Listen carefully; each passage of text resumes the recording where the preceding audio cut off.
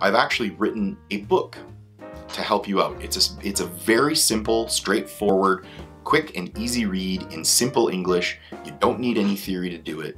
Um, and it's available now on Amazon. It looks like this. And the reason I wrote this is to get over all of those problems that most guitar players face. Mnemonic devices, remembering one note to remember another, secret codes, all this BS that really doesn't teach you all of the notes. It teaches you how to remember more stuff. And I want my brain to be able to remember more music, not more tricks.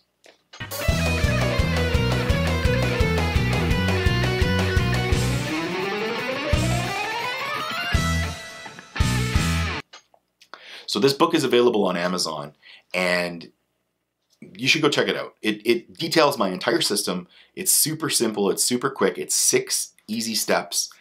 I'm going to go so far as to say is you could actually have your entire fretboard memorized in less than 24 hours. Now, there's a caveat. I don't mean in a single sitting. I don't mean one 24 hour day. I mean over the space of about a week if you sit down with this method and work through it at about 15 minutes a day for about a week, there's no reason you can't have the entire fretboard memorized in that amount of time.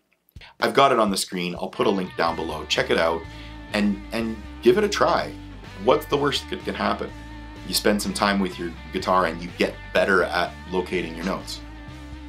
You know, um, as I said, I've had a 100% success rate with this method with my students over the years, and now I want to give it to you. And I hope that it works for you. Thanks so much for tuning into the video. I really do appreciate it. Leave your comments down below. What, what method did you use to memorize the fretboard? Did you use my method? Did you learn it from someone?